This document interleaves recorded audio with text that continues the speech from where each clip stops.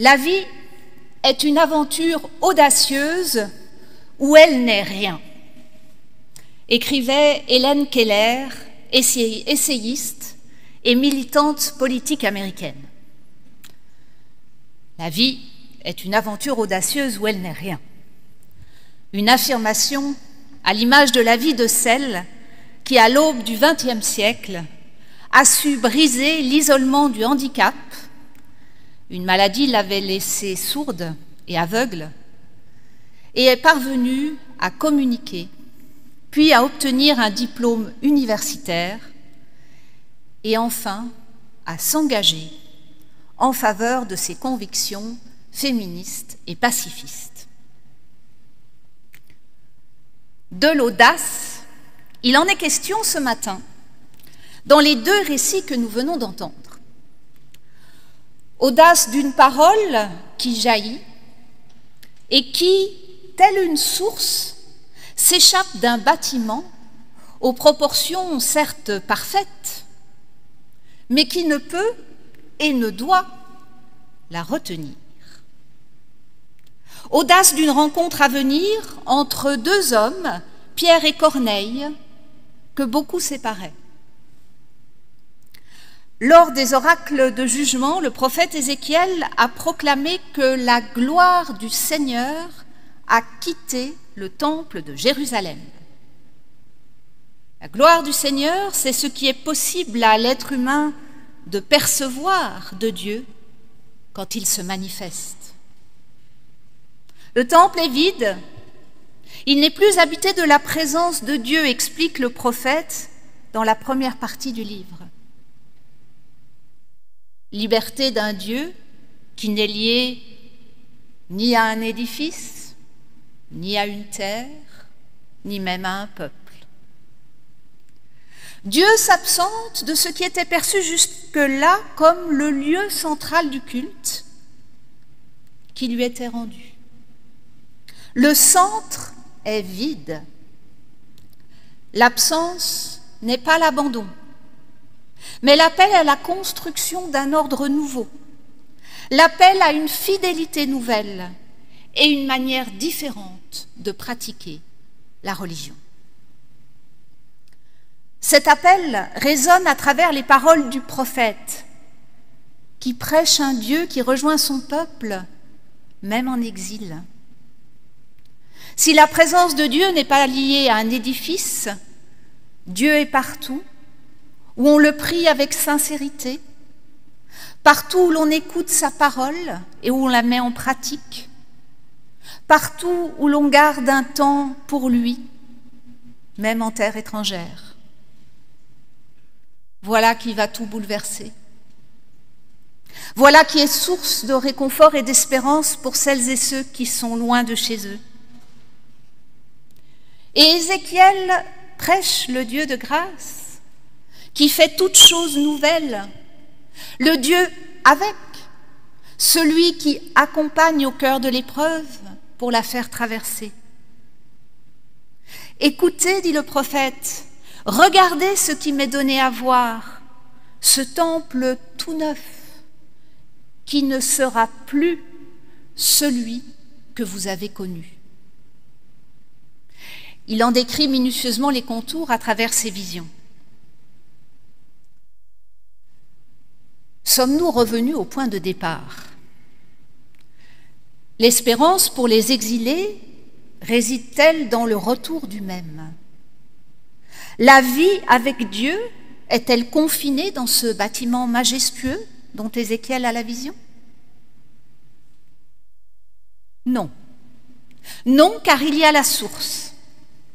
Cette source, symbole de la parole de Dieu qui s'écoule, s'échappe du temple pour purifier et rendre la vie possible. Cette source qui fait fleurir le désert procure de la nourriture en abondance et même guérit grâce aux feuilles des arbres fruitiers. Cette source abreuve également chacune de nos terres intérieures. La parole crée en nous quelque chose de neuf elle agit et fait agir. Elle est faite pour grandir et faire grandir. Elle est faite pour être partagée. Invitation à l'audace de l'engagement et du témoignage. Auparavant, on montait au temple pour recevoir les bienfaits du Seigneur. Désormais, la vie que la parole de Dieu fait surgir rejoint également le pays et ses habitants dans leur environnement quotidien. La source jaillit et elle dispense la vie. Des canaux bien tracés de nos rituels et de nos habitudes, elle s'échappe toujours. Il nous arrive de désirer que nos vies de foi ou que nos églises ressemblent à un temple aux proportions parfaites, où tout serait cadré, maîtrisé, où nous aurions la certitude de trouver la présence de Dieu selon nos désirs, et où nous pourrions discourir sur Dieu. Mais l'eau, alors, serait stagnante, et le danger du repli sur soi à nos portes. Le prophète Ézéchiel et Jésus lui-même nous parlent d'une eau vive, c'est-à-dire d'une eau qui porte la vie, une eau qui se répand dans le monde et qui lutte contre les forces de stérilité, d'intolérance et de mort qui sont à l'œuvre.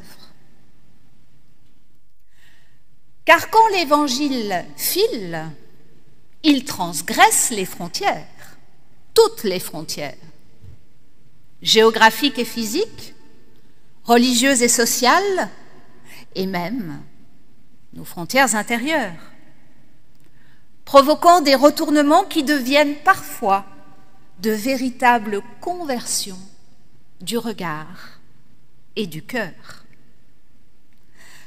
Corneille, puis Pierre vont en faire l'expérience il leur faudra de l'audace pour avoir le courage de la transgression. Arrêtons-nous un instant sur cette notion.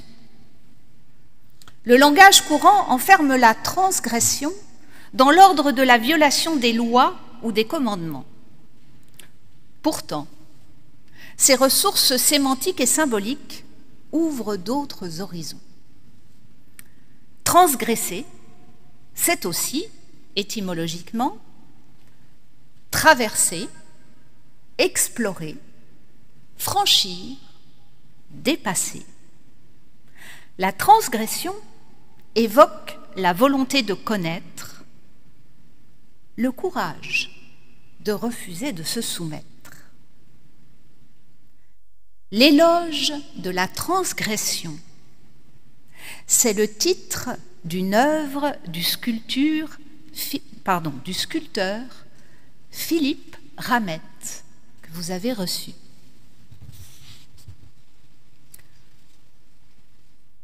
On peut y voir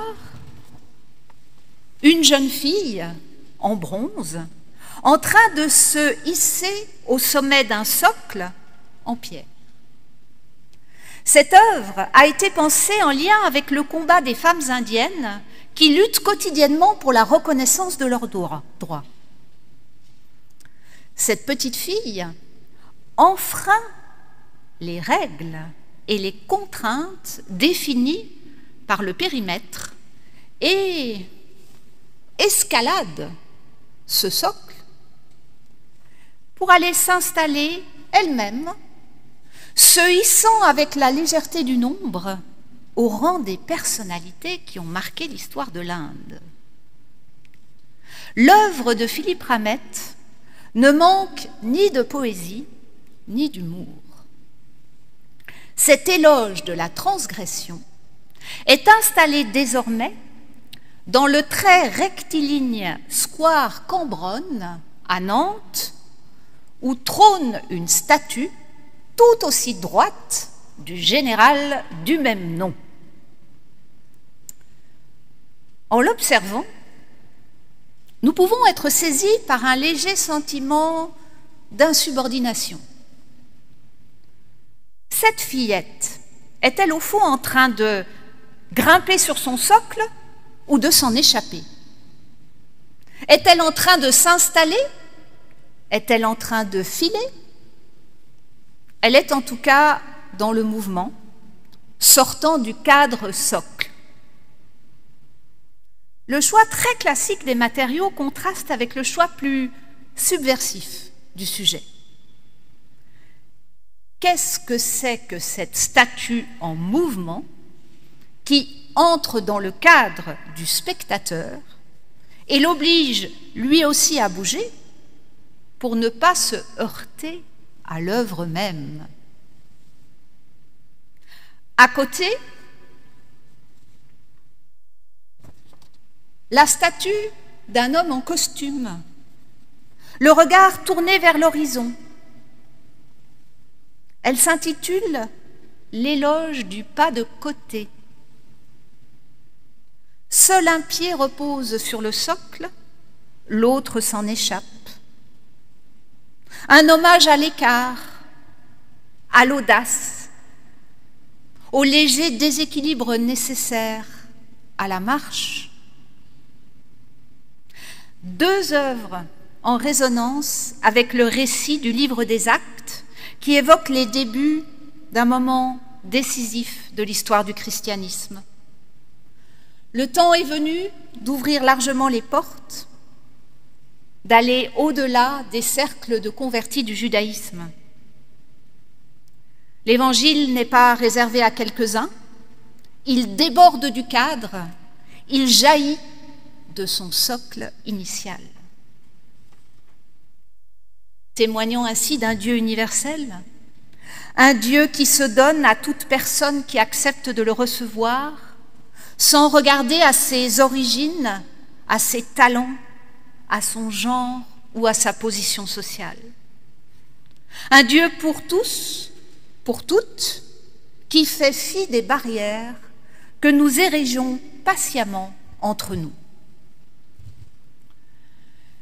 N'est-ce pas éminemment transgressif tout cet amour à l'heure où tout se revendique?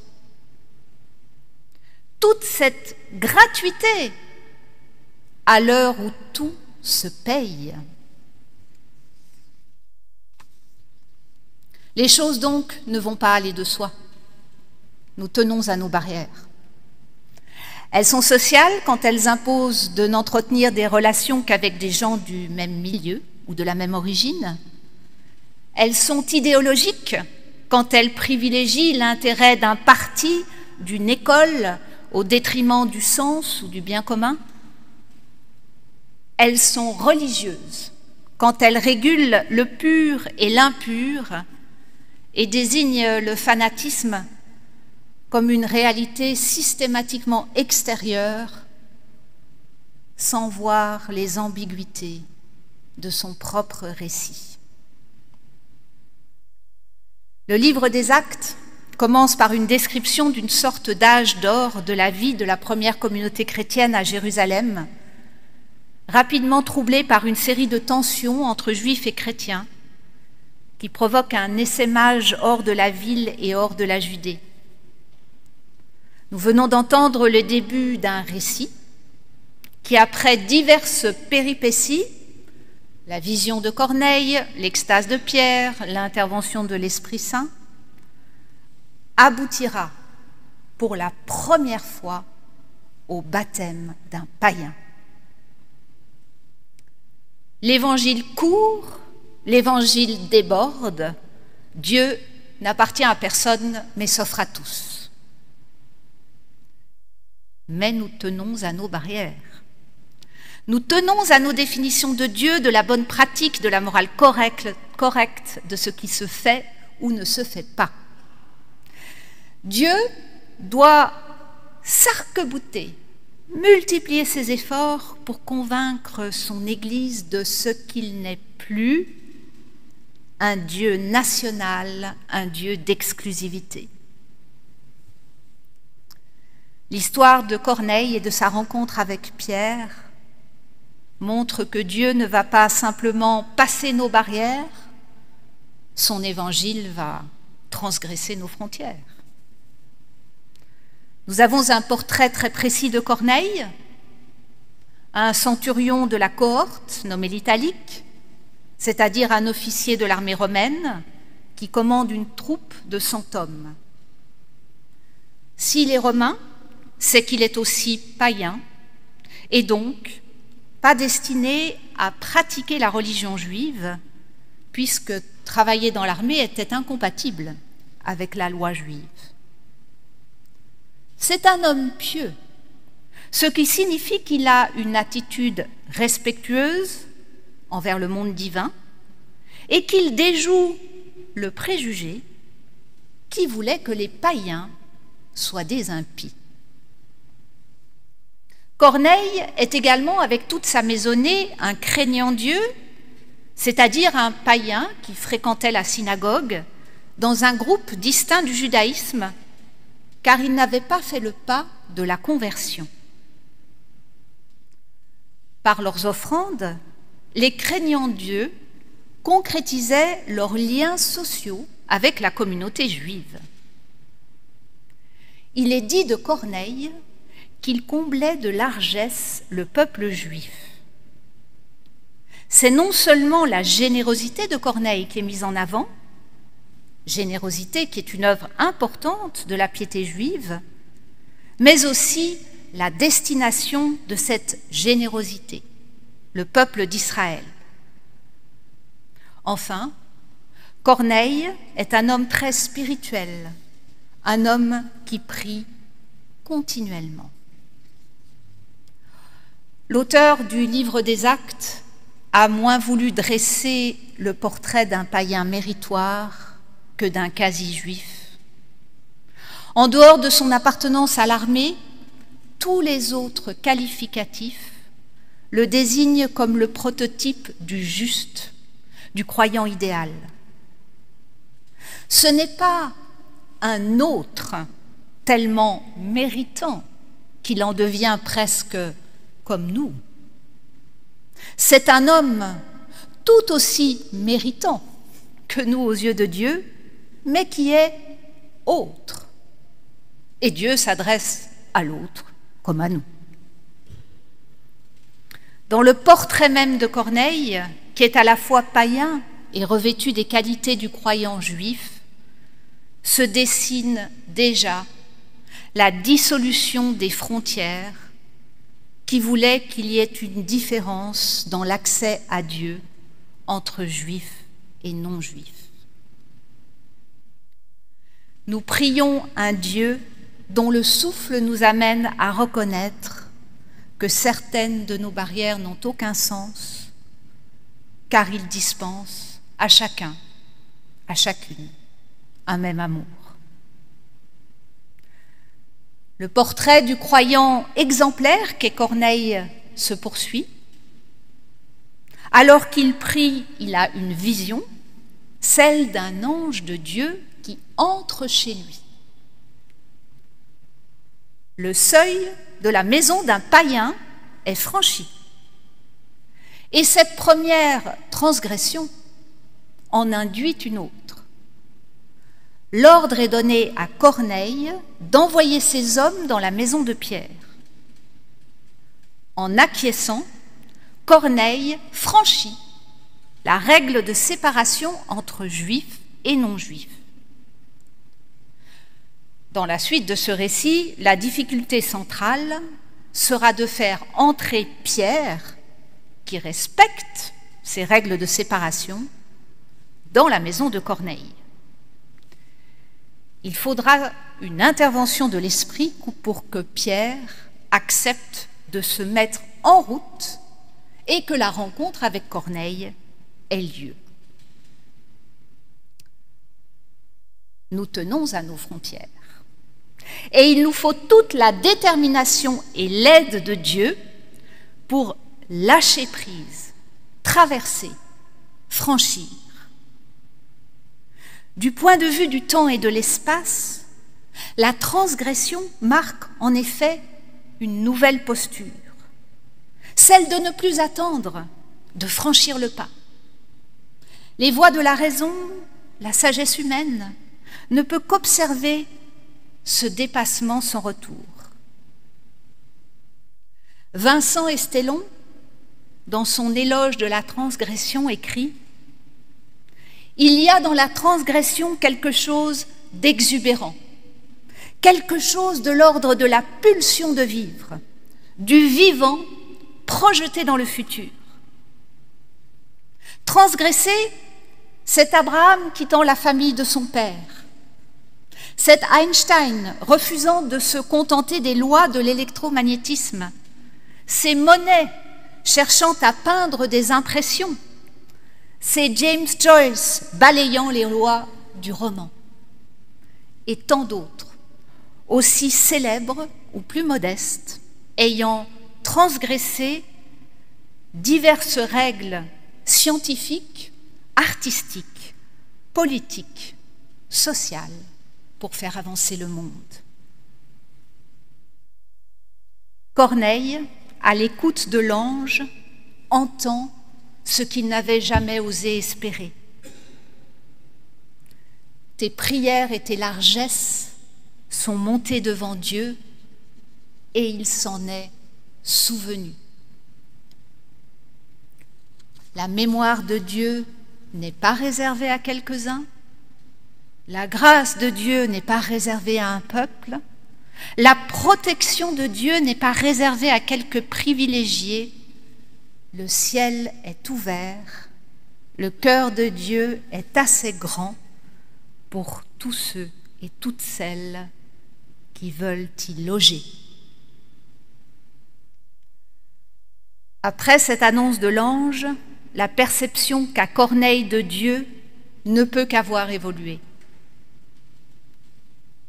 Il faudra un peu de temps à Pierre, le très respectueux des règles, déjà placé hors de sa zone de confort, comme l'on dirait aujourd'hui, puisqu'il est logé chez un tanneur, une activité considérée comme hautement impure par le contact répété avec les dépouilles animales et le sang. Corneille reçoit l'ordre de l'envoyer chercher pour qu'une rencontre ait lieu.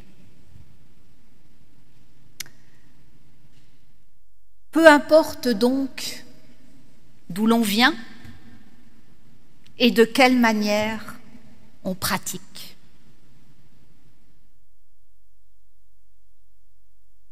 Nos barrières Dieu travaille à les faire voler en éclats, pour nous faire faire un pas de côté, accepter le léger déséquilibre nécessaire à la marche, pour nous faire sortir du cadre, pour nous faire peut-être aussi descendre du socle et bientôt de la chair. L'important dans ce mouvement est de respecter Dieu sans vouloir l'annexer et de pratiquer la justice qui se récapitule dans l'amour. Amen.